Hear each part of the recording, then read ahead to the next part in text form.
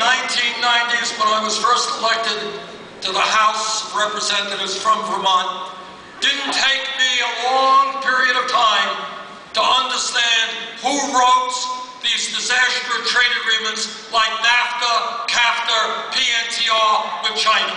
I understood that corporate America wrote those trade agreements, that the goal of those trade agreements was to throw American workers out on the street,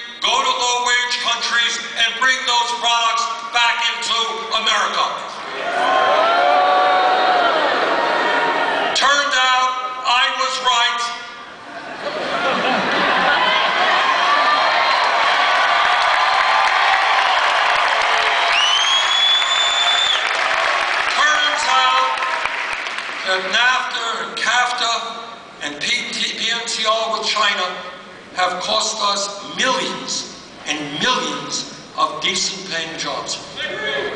Because what corporate America said, that's why these agreements were written. They say, why do I want to pay a worker in Michigan or in Vermont 20, 25, 30 bucks an hour? I can shut down here, move abroad, pay people 50 cents an hour, buck an hour, and bring the product back into America. You didn't have to be a PhD in economics to figure that one out.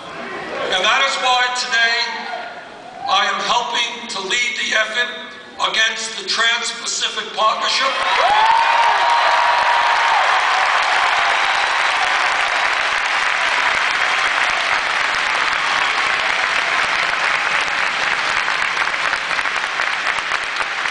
And why I believe we have got to fundamentally rewrite our trade policies.